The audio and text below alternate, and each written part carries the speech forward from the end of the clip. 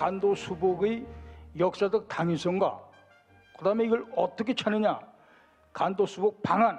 저 방안에 에, 그 저희 에, 논문의 그 강조점이 있기 때문에 이 방안은 결국 좀 외교사 쪽으로 또는 국제정치적으로 얘기를 어, 에, 그 강조가 나 논- 논리가 그렇게 끌- 그러다 보니까 자연적으로 현 집권층에서 취하고 있는 어떤 그 외교관하고의 관점이 다를 수 있습니다. 그래서 어, 이 들으시는 분이 상당히 좀 언짢아하시더라도 저는 어디까지나 국가익, 우리나라의 국가익, 더 나아가서 우리 민족혼을 위해서 어떤 것이 더 우리 민족에게 대한 천선 대한민족이 맞는가? 여기 이과에서 얘기하니까 단순히 어떤 정권의 차원의 문제가 아닙니다 저는요. 혹시 정권적 차원의 얘기가 달라서 좀 어, 언짢게 생각하시더라도 막 이건 학술적인 예, 장소니까 에, 쭉 참아주시고 잘 들어주시기 바랍니다. 이 이것에 대한 어, 저는 어떤 게 정권의 얘기가 아니에요. 그야말로 제가 생명을 바치기 위해서 상하놓고 들어서 전쟁이 나면 목숨을 바치러 들어갔던 사람이 살아있는 것만 천만다인데 이 대한민국이 지금 앞으로의 미래가 저로서는 상당히 불안하게 생각하고 있습니다. 에, 요게 이제 간도는 되찾아야 하는데 현재 이 입장으로 그야말로 우리가 지금 어? 반미 친중공 친북으로 나가가지고 어느 세월에 간도를 되찾겠냐 이게요. 에? 그런 입장입니다. 자, 저희 하여튼 뭐 서두나 결론은 똑- 똑같이 그것인데 이것을 조금 말로 풀어봤습니다.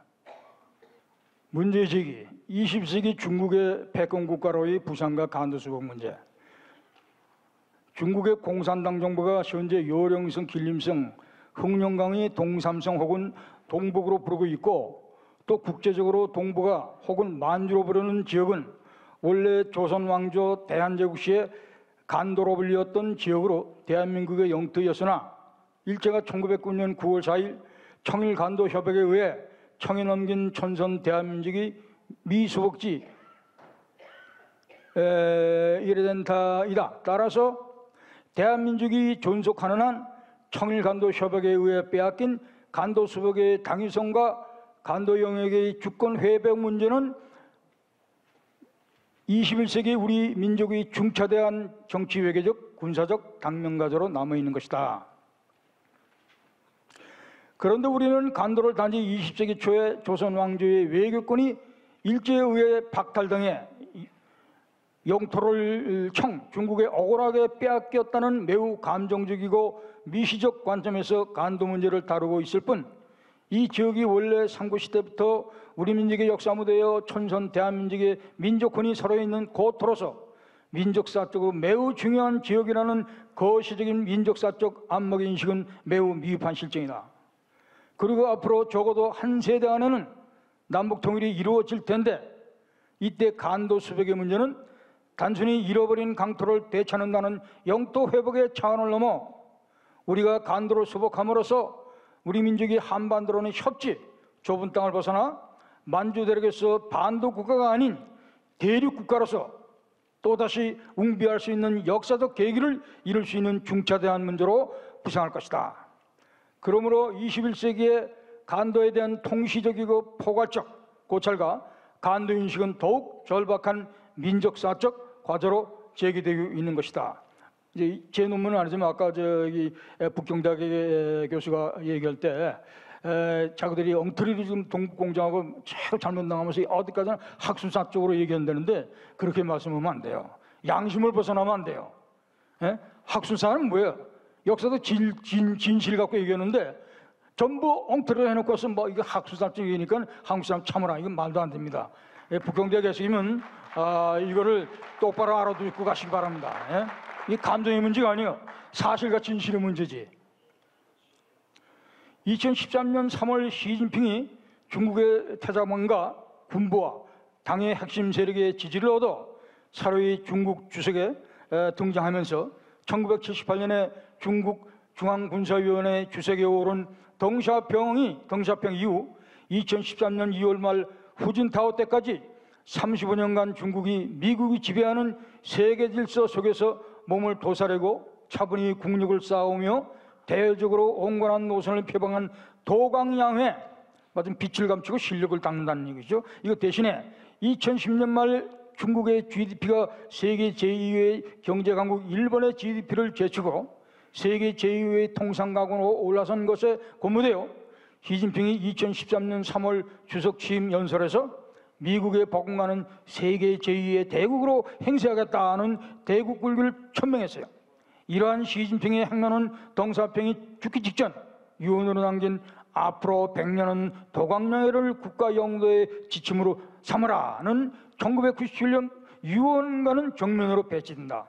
하고 그의 정책 목표로 1대1로 즉 16성 실크로드 해상 실크로드 구축 이런 건설이란 중국몽 실현을 내걸고 장차 30년 후 모택동의 공산혁명 100주년이 되는 2049년 10월까지 중국이 미국의 세계 패권적 지위를 뛰어넘어 팍스 시니카 시대를 열겠다는 야심찬 포부를 드러냈다. 왜 이걸 분명히 알아야 돼요?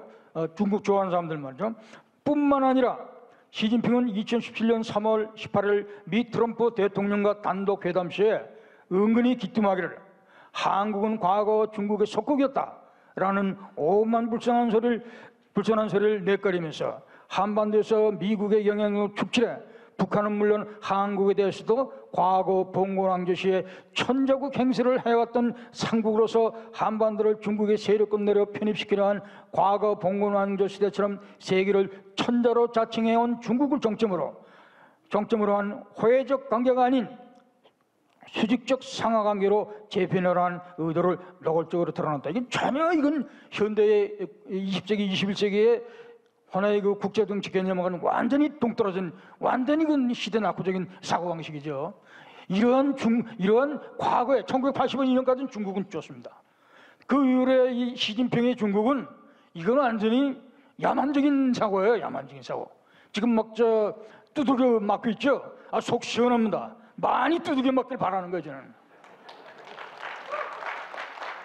이놈, 이놈 얼굴입니다. 욕을 합니다. 죄송합니다만. 이 사람 얼굴 보세요. 눈, 눈동자를 보세요.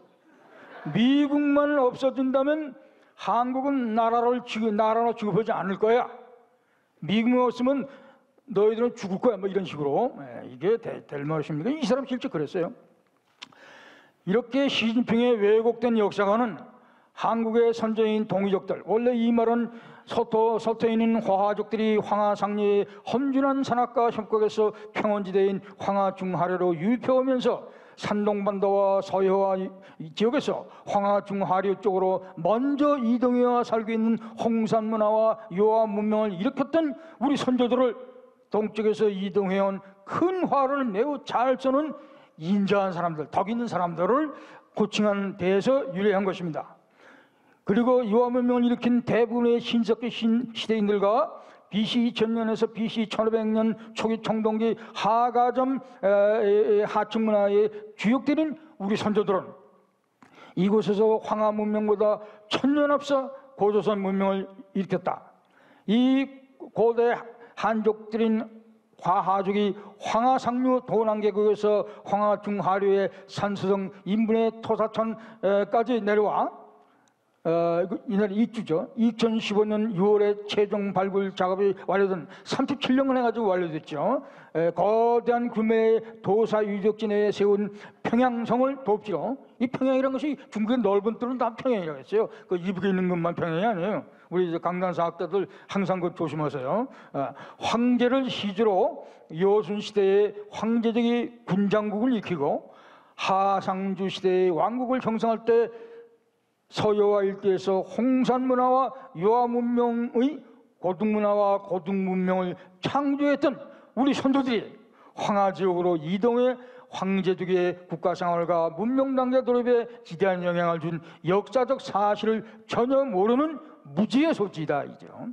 또한 전 서울대 사회학과 명예교수이신 울산대 속조 교수인 신양하 교수는 고조선 문명의 사회사에서 시기적으로 약 5천 년 전에 탄생한 한국 고대사의 고조선 문명은 고중국 문명, 즉 황하 문명보다 약 1천여 년 앞선 문명으로 중국 문명 발전에 기대한 영향을 미쳤음을 역설을 했습니다. 이렇게, 말씀하셨죠. 네. 또 중국의 문호공 문양 이분 잘 보세요 준무지 참 양심적인 사람입니다. 이분요 어, 1985년 중국 인민대회장에서 홍산 문화는 동의적인 문화이며 한국인들이 존재하는 한 우리 중국인들은 한국인들의 후손이며 중국의 영토는 원래 한국인들의 땅이라는 주장을 부인할 수 없다라고 공언했어요. 우리 여러분 문화공보부 장관이 자기들 국회에서 이런 얘기한 겁니다. 에? 물론 어, 삼성 어, 이저 어, 상생 방송을 통해 가지고 유튜브로 나온 걸 저희 자료를 활용하는 거죠. 한국 상고사를 중점적으로 연구하는 제아의 저명한 사학자 김종수 박사라는 분이 있어요. 우리나라에 세계 최초 문, 아, 문명인 흑룡관 문명과 요하 문명은 환웅이 신시 문화유산이라고 2018년 11월 5일 역사의병대 아카데미 상고사 강의에서 역사를 했는데 잠깐 말씀드리면 제가 역사의병대 창립위원회 한 사람입니다.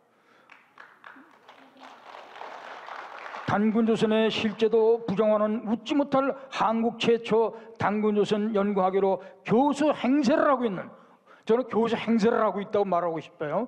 어, 강단사에게 제3세대 또는 4세대라고 얘기하는데 신민사관 자 한국교원대 역사학과 송호정 교수는 이를 진정 귀담아 들어야 할 것이다. 예? 아, 이 사람은 지금 저기 기자조선하고 위만조선 있지 예? 그 당군조선을 인정 안 하는 사람 아니에요? 한편 2016년에 미 허드슨 전략연구소의 중국 전문가 미카엘 필스베르는 100년간의 마라톤 어, 세계 최강국인 미국을 대체하라는 중국의 극비 전략에서 중국이 마쩌뚱의 공산혁명 100주년이 100주년 주기가 되는 2049년 지금부터 한 30년 후죠. 말까지 여섯 번 전쟁을 치르면서 한반도와 일본을 공산화해요. 이게 지금 현재 시진핑 생각이에요. 이게 예. 이 뭘 이런 그 중국 공산당을 뭐 좋다고 그랬다 그럽니까 이거? 우리 공산화 시키겠다는데 한반도 일본을 공산화하여 한반도 전체를 중국의 일개성인 조선성으로 만들겠다. 조선성 만들고 또 일본의 규슈와 혼슈 서반부는 동해성으로 만들고 나머지 일본 땅 반은 일본 자치주로 삼아 동북아에서 중국을 맹주로 한 공산연방체를 구성을 한다는 것을 고발했습니다. 이 점을 이러한 점을 서강대 상학과 전인각 교수도 현대 중국의 제국몽 중화의 보편화, 백년의 실험에서 시진핑이 장차 모택동과 스탈린에 못지않게 한국을 비롯한 주변 아시아 태평양 국가들에게 엄청나게 전체주의 공산사에 해독을 끼칠 것이다 라고 그의 책에서 이렇게 어, 예단했습니다. 네, 이것도 화보에 나, 왔던 걸 제가 다시 확인한 것이죠. 동북아시아 미중 대결과 한국의 간도 수복 전략. 네, 여기에 제 얘기가 나오는 중에 말씀 드리고자 하는 것이 다 들어있어요. 중국이 시진핑 주석의 장기 집권을 통해 21세기 중반까지 주도 면밀하게 국가적 프로젝트를 가동시키며 미국을 제치고 세계 최강의 패공국이 되려는 야심을 미국은 담 넘어 불구경하듯 반감만 하고 있었을까? 미국 하버드 대학 저명한 정치학 교수이며 전략 이론가인 그레엄 앨리슨은 튀키데스터로부터 빠져나올 수 없는 미중 간의 필연적 전쟁 이런 책에서 이, 작년이죠. 장차 미국과 사로이 강대국으로 부상하는 중국 간에는 피치 못할 튀키데스 덫에 걸려서 미중 두 나라가 언젠가는 전쟁의 함정에 빠질 수밖에 없다고 얘기나 했는데 집권초에 이를 심상치 않게 여긴 미 트럼프 대통령은 5월 달에 엘슨 교수를 그의 집무실에 불러 대담하면서 자기는 그러니까 트럼프는 어, 한국의 현 정권이 미국의 주한 미군과 한국인들을 방어하기 위해서 한국의 사드 배치를 하려는 것에 중국 눈치를 요리조리 피해 다니는 것에 실망해서 전략적으로 일본만을 고소하면서 북핵 문제를 중국과 협력해 해결하려는 중국에 대한 보답으로 한국을 중국 세력권에서 아, 아이가 세력권 떠맡기겠다 이게야. 지금 현재 미국 세력권 아니라 중국에 떠맡기겠다 하니까 엘리슨 교수는 정색을 하고 말리하며 한국은 동북아에서 일본보다 더욱 중국의 팽창을 견제할 수 있는 민주주의 정신이 특출하고 활력이 넘친 큰 나라입니다. 빅 간토리입니다. 라고 역설하자 미 트럼프 대통령이 대한국간 인식과 동북아 전략 구상에 커다란 변화를 일으켜 주었다는 일화는 널리 알려진 일입니다. 트럼프가 대통령이 당선된 2016년 11월 7일 이후 북한의 김정은 국무위원장은 2017년 9월 3일 무모하게도 수소폭탄 실험을 격들인 6차례 핵실험을 감행한 후 전 세계를 향해 공개적으로 북한이 핵 공격으로 미 본토를 타격할 수 있는 능력을 ICBM 능력을 가지고 있다고 호들갑을 떨었는데 다들 아시는 거죠. 이때 트럼프는 김일성 우상숭배 사교 집단으로 전락한 북한 공산주의 정권을 더 이상 좌시할 수 없음을 크게 느껴 북한 김정은 유일 지배 체제의 전환 레짐 체인지를 꾀함은 물론 이게 중국의 배후 조정을 받아 중국의 위성국으로 전락한 남북한 세계 질서 교란자 북한을 중국 진영으로부터 빼내서 동북아 한미일 자유진영으로 이끌어들이기 위한 이른바 진영 전환 블록 체인지까지 강, 강구하게 됐죠. 그래 그는 2017년 9월 23일에 총 중량 1만 8,144kg에 달하는 핵포탄 16발을 탑재한 B2 스텔스 폭격기 두 대를 포함 미국의 전략 자산을 총동원해서 동해안 북한 영해를 넘어가 6차 핵실험을 강행한 북한 한복 필지군 풍계리 핵실험 상공까지 비행하고 돌아가게 해서 사실상 일부가 때려 부셨어요. 신문에 안 났지만 네. 그 범베스트 한 발을 때렸습니다. 돌아가게 김정은의 간담을 선언했고 북한이 핵무기를 포함한 살, 대량 살상 무기를 폐기하지 않으면 김정은을 참수해버리고 참수하면 다 아시다 목 다 버리겠다는 거죠.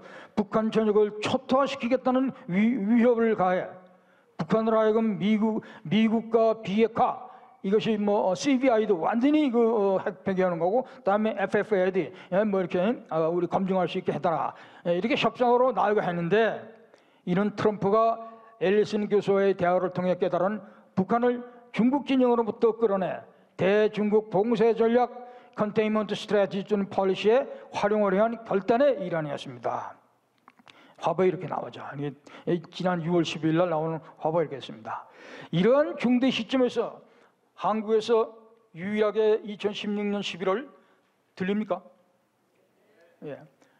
어, 미 대통령 선거에서 마땅히 당선될 것으로 기대했던 민주당의 힐러리가 낙선되고 세계 무역 통상주의를 어, 반, 반대하며 미국적 애국주의와 어, 미국 우선주의 American First의 보호무역주의를 주장한 어, 무명의 공화당 후보 도널드 트럼프가 당선될 것을 미 제1방송 폭스뉴스의 예측대로 쪽집게처럼 맞춘 이충근 박사 그래서 유튜브상에 많이 강론하는데 21세기 한국의 바람직한 군사 외교 노선으로 현 집권 중처럼 어설프게 우리 민족끼리라는 민족 감정을 부추기며 국 제적 문제가 된 북한의 김정은을 감싸고 놀며 시대착오적으로 반미, 친북, 친중 외교 군산을 군사 노선을 외칠 것이 아니라 친미, 반중 노선을 견지하며 한미 동맹을 강화해 북한의 비핵화 이행 과정을 예의주시하라고 경고, 경고하였는데 이는 대한민국 주도로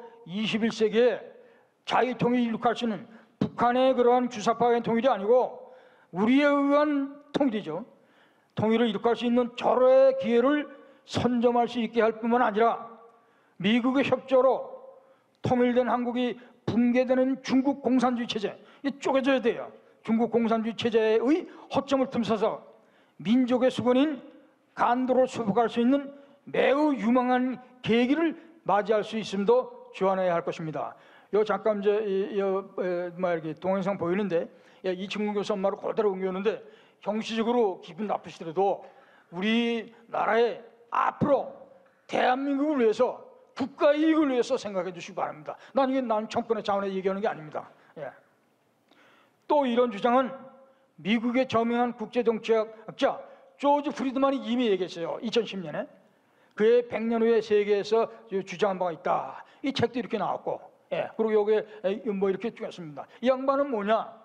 2020년 앞으로 2년 남았죠. 2년에는 중국이 완전 분열돼 버리고 분열되고 난 데는 한국이 통일되고 만주까지 수복할 수 있게 기회를 주겠다 미국이 그렇게 해야 된다 이 주장했어요. 이 유명한 사람이 이 사람이 21세기 노스트라다무스 예정원처럼 그 다음에 코소보 사건이 터지고 다 예측했던 사람이에요. 어. 그 21세기 노스트라다무스라고 그래요. 음. 그래가 이, 이, 양반이 전략지 Stratfor를 만들어가지고 계속 매달 나오는데 아주 정확하게 들어맞아요. 소련이 언제든 망할 거다. 다 예측했어요. 유명한 사람입니다. 예. 이런 사람이 이 친구도 우리가 참고를 해야 되겠다. 예? 이게 맞으면 대국 주권, 정 국제 정치 차원에서 대한민국의 미래를 위해서 현 한국 정부의 과도한 친북 내지 종북 정책은 대만계 미국인 변호사인 메파 시사평론가여 동북아 안보 전문가로 유명한 고든창으로 하여금 지난 10월 13일 뭐 한 두 달 전이겠죠 폭스뉴스에서 한국 대통령은 북한은 대 북한에 대해서 매우 열정적으로 말하겠지만 그를 대표로 순실한 대한민국을 위해서는 똑같이 하지 않는다 이게요. 마치 그는 김정은의 악마적 의도의 통역자이자 이게 내가 한 말이 아닌 거그 사람의 말이에요. 마치 대변인, 뭐 에이전트란 말 그런 말 쓰잖아요. 자유주의인 대한민국을 이룰 수도 있다. 예. 이게 독일 독일 그런 그 에? 마치 그 독일 방송에서 나오고 뭐저이 뭐 일, 일본의 그 후지 TV도 나오고 그랬어요. 이 말이 북한의 침략에 앞으로도 그가 그 얼마나 대한민국의 안보의 벽을 허무는 짓을 할지 누가 알겠는가? 많이 때려부셨죠 지금. 예? 어떻게 될지 알게 뭐예요? 라고 조사하게 됐다. 또 독일 수도 베를린에 발행되는 독일의 대표되는 보수계 종합신문 디펠트 이거 말이죠. 2010년 10월 12월 동안에 수차례의 논평을 통해서 한국의 촛불 시위가 맹위를 떨치며 헬조선, 뭐 지옥조선을 외치고 사회주의가 답이라든지 또 시군령들이 좌편행의 성향을 강하게 보이자 한국은 국가 자살의 길, 이 독일말로 베크쯤 슈타츠 모르트, 모르트라는 자살이에요, 자살. 어? 국가가 저 자살하고 있단 말이야. 라고 어, 들었었다라고 논평을 냈는가 하면 일본의 후지 TV도 이런 논조의 방송을 어, 에, 수차례 내보내긴 했어요. 요미우리 신문도 그, 그 따라했죠. 이처럼 자유세계 언론 및 통신사들은 현 한국 집권 중 정체성에 대해서 심각한 우려를 표명하며 한국이 본래 자유민주주의 국가의 위상을 되찾기를 갈망하고 있다. 저도 갈망하는 겁니다. 저도. 예. 필자가 굳이 외국계 언론 방송사에 비친 한국의 현 정치 상황에 대한 논평을 인용하는 까닭은 현재 한국 정부가 추구하고 있는 반미 친북 친중 외교군 산업선이 장차 대한민국의 안보 지원과 국가 발전에 그 얼마나 위중한 결과를 초래할 것인가를 심히 우려하기 때문입니다.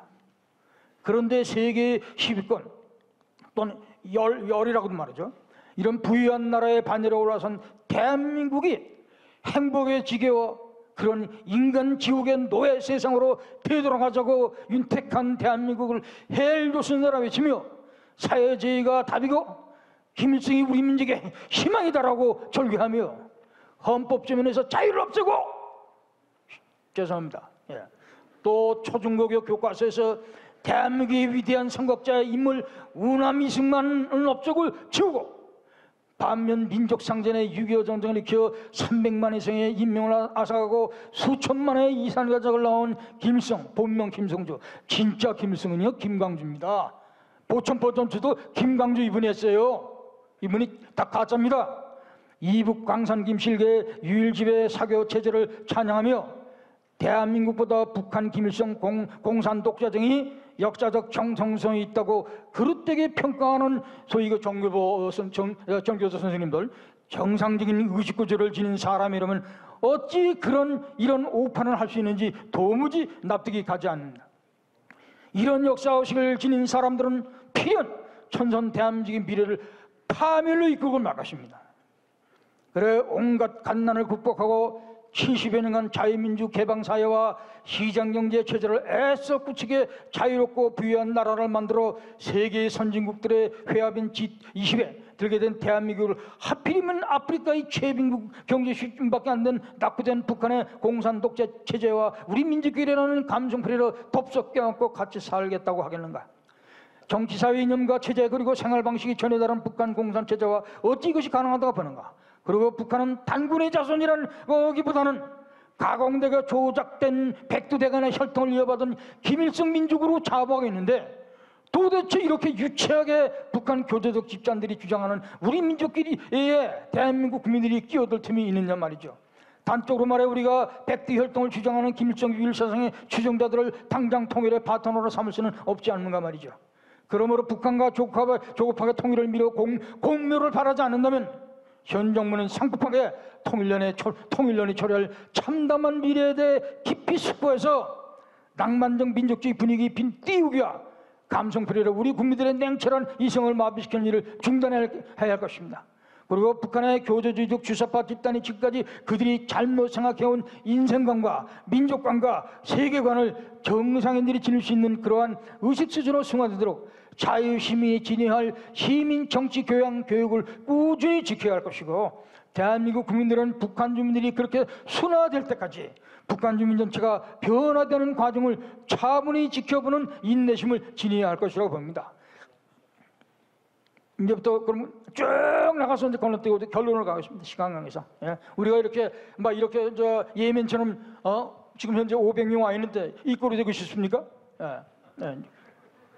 이, 이, 뭐 이게 내용을 한번 쭉 보시고 예, 결론으로 들어가시 결론으로. 이게 30분의 강의 안 돼요. 예. 요건 잠깐 요거 잠깐. 요 아까 잠깐 그랬죠. 이 중국이 말이죠. 이렇게 아, 막 태평양 걸 자기가 다 찾아겠다는 거예요. 제1 열도선, 제1열도선 해가지고 이렇게도 뭡니까? 예? 완전히 팽창 선언 거예요. 이건 당장 태평양 걸 장하는 미국의 도전일 뿐만 아니라 여일대에 있는 우리 자유주의가 한국을 그래서 일본이 전부 무역량을 통제되는 거예요. 여기 전부 통일령 다 내야 돼요. 이런 그야말로 저 장꼬대 같은 소리 하는 거죠, 완전히요. 예. 야, 동서병이 어? 정말 저 지하에서 막 야단칠 겁니다. 네 이놈 너 그렇게 성급하게 그러지 말고. 그 두둑이 맞잖아요. 당연히 맞아야죠. 결론을 가겠습니다. 뭐 결론 비슷하지만 에, 천선 대한민국의 고토간도 상고사에 대한 이건 딱 핵심이 이겁니다. 간도적은 우리 잊혀진 천선 대한민국 상고 고도사의 보고야 보고. 예.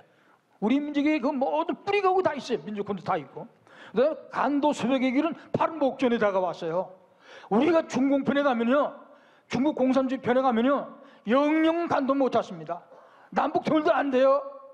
어떻게 중, 중국에 저 등거리 외교해가지고 갈라놓고 와서 딱저 분열되길 바라는데 어떻게 우리가 통일되겠습니까? 어림도 없는 얘기야.